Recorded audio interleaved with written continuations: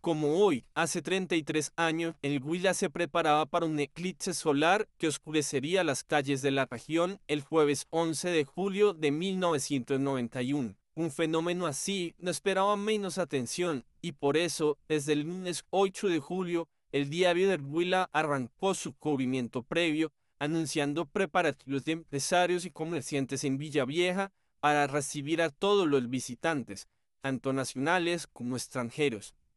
El ingeniero Juan José Salas, quien fue funcionario del planetario del Ciudad de Bogotá, explicó que sería uno de los eclipses más largos observados hasta la fecha en el país.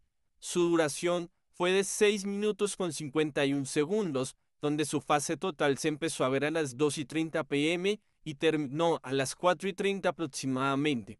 Sin embargo, el momento clave fue a las 3 y 20 de la tarde.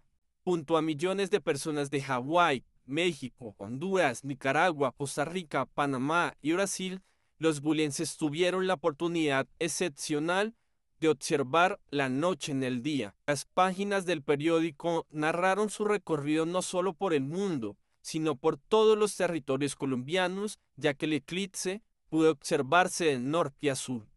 Los valles de los ríos Tauca y Magdalena, que hoy se conocen como desierto de la Tatacoa, fueron el epicentro para observar esta maravilla de la naturaleza.